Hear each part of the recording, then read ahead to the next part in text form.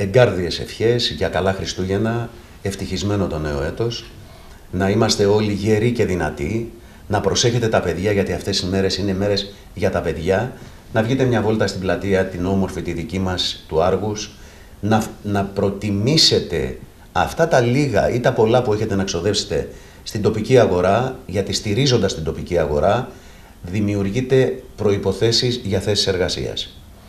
Ε, τα μεγάλα πολυκαταστήματα τα χρήματα τα βγάζουν στο εξωτερικό κατά βάση. Γι' αυτό λοιπόν πηγαίνετε στα μαγαζιά της γειτονιάς, αφήστε τα χρήματα, θα το εκτιμήσουν και εκείνοι, αλλά και εσείς θα αισθανθείτε πολύ όμορφα. Καλά Χριστούγεννα λοιπόν και αν θέλετε αποφύγετε το καλές γιορτές. Οι Έλληνες εμείς θα λέμε καλά Χριστούγεννα, σε πείσμα κάποιων που θέλουν να αλλάξουν πολλά. Να είστε καλά λοιπόν και καλή χρονιά με υγεία.